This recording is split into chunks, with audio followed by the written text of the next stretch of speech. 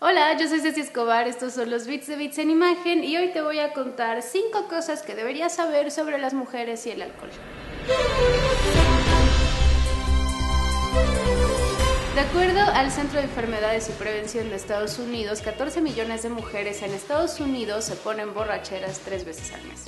Esto se define con de 4 a 5 bebidas a lo largo de la misma noche. Las mujeres entre 15 y 34 años son las que más toman y por ende corren el riesgo de padecer de enfermedades hepáticas, de accidentes cerebrovasculares y de intoxicación alcohólica.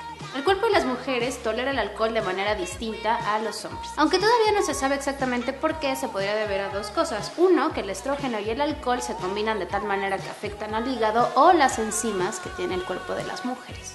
También tiene que ver con que las mujeres tienen menos agua en el cuerpo por kilo.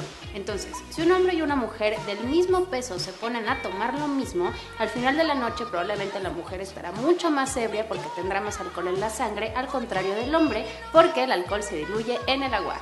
Las mujeres suelen buscar tratamiento antes que los hombres. En promedio, las mujeres buscan ayuda entre 4 y 5 años antes que los hombres, en gran parte por el estigma social que implica ser una borracha. Eso es súper sexista. Un reciente estudio alemán indica que la tasa de mortalidad entre mujeres es más alta que en hombres dependientes del alcohol. La tasa de mortalidad de mujeres adictas al alcohol era cuatro veces mayor al de mujeres que no toman.